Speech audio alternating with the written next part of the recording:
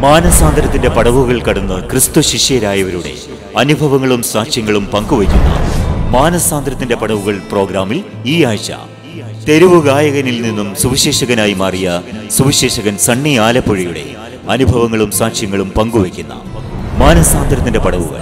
അവനാർക്കും അവനൊപ്പം പറയാനാരുമില്ല അവനെ